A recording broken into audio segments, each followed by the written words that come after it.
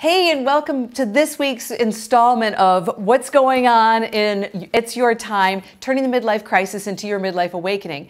My co host here is taking a little snack break, and while I'm going to be talking about our guests and the books that they've written and all those kinds of things, um, our, our co-host is going to be drooling on the mat and eating the wheatgrass. We're going to take that away from you before you throw it up or something like that. That's nasty. Nobody wants to see that. Anyway, back to what we were saying. Dr. Veronique Desaulniers is the, one of our uh, guest experts this week, and Dr. V is also known as the ca cancer conqueror. And she herself has had um, some severe cancer and has managed to uh, cure herself of it using natural methods.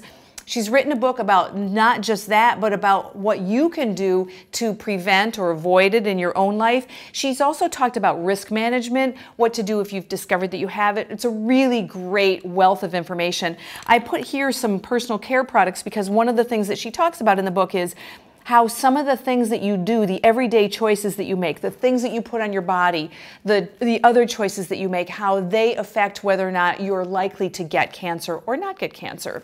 Um, another one of our guests this week um, I'm really excited about. Sally Kempton is uh, an expert on meditation. And this book that she wrote is called Meditation for the Love of It. Um, when I first decided to interview her, I'll admit I was a little bit um, skeptical and a little bit put off by it because I'll be honest with you, this is my meditation cushion. I bought it when I went to hear the Dalai Lama speak. I thought, well, this is good luck. I, you know, I'll get this and then all of a sudden I'll, my practice will increase. Well, that didn't work. But once I read her book and listened to what it was that she had to say, I really came away enlightened, if you will. Among the other things that she does is she talks about how to take the pressure off yourself, how to stop making meditation such a gotta be thing, how it's not necessarily that you're not doing it right because there isn't a right way. Anyway, really great lady. This is only one of her books. She's written several, and you're gonna really enjoy her interview. I'm just certain of it.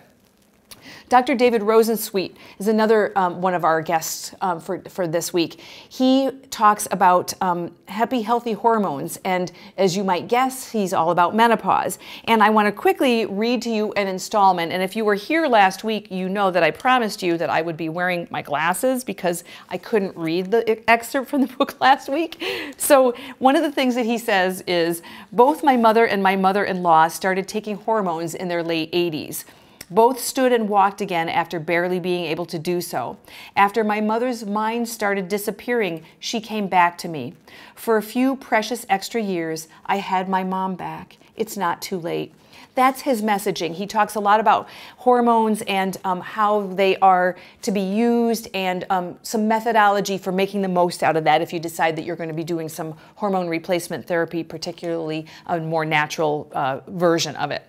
Over here, um, if we can move around the tail, we've got um, a book called Bloom, and Alejandra Car is our author and our featured expert today. Dr. Alex, I call her, because um, her name is so unbelievably difficult to pronounce. Um, she, what I really like about her is she's a physician and she doesn't treat the body in the way that most physicians do, where they, or in my experience, where they hone in on one thing that's wrong and deal with only that one thing. She deals with, and the reason that there's wheatgrass here, with the body treating it as, as though it's a plant system. So if you think about plants, we've got the green area here. We've got the root system, um, and we talk about the soil and the things that make the plant healthy. She draws the analogy between the body and plants themselves. So if you think about your environment being the soil and the water and the nurturing and the nutrients that we give to our plants to make them be healthy, all of those things, it starts to make really good sense. And finally, one of our experts this, this week is Janet Attwood. Um, Janet has written a book called The Passion Test. This is a great book. I have to tell you, this is two thumbs up. Um, it's one of those things, it's, it is kind of a test, but it's also exercises, things to do. If you're feeling like, and I have felt this way before in my life, and I think most of us who have been midlife at different points, you start feeling like your fizzle is fizzled out um, or, or, your passion has fizzled out, um, these, this is a place for you to start. This is a place for you to take a look at what is it that I need to do to rekindle my flame?